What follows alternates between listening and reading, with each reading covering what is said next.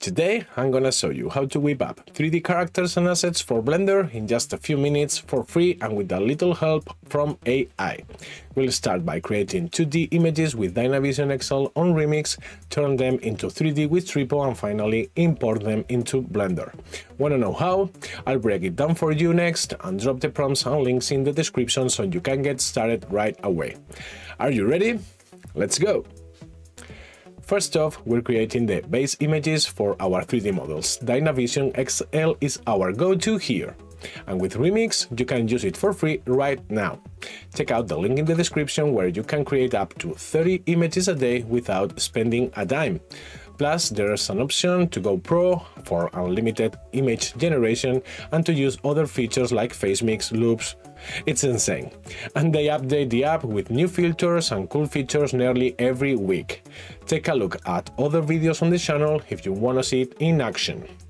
Alright, once in, we hit create a new image from text and we'll use this prompt to make a Clash Royale style character I bet you'll love.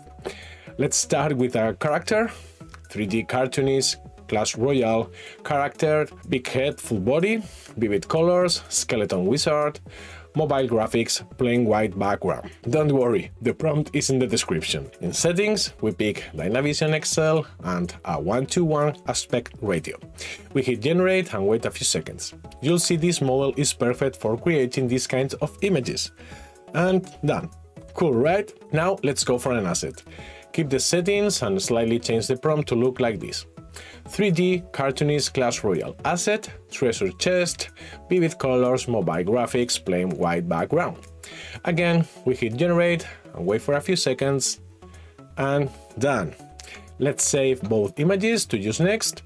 And now with our character and asset designs ready, we head to Tripo through tripo3d.ai, the links in the comments and upload the images, and then click create. It's amazing how fast it works. In fact, we can download these drafts and use them right now, unlimited. There's also a refine option, giving us a more detailed and defined 3D model ideal for final projects. The free tier includes 30 generations a month, but if you need more, there are very affordable plans to fit your needs. So, with our 3D models ready, we just click on download to get the FBX file we are going to import in Blender next. So in Blender, let's start a new project and import the FBX files to begin crafting our 3D scene. From here, your imagination is the limit. In next videos, I'll show you that you can not only create static models but animate them too. We are really close to being able to create 3D video games at lightning speed.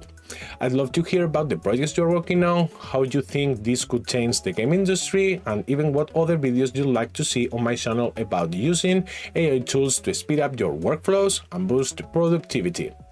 TechHalla signing off. Bye bye, guys.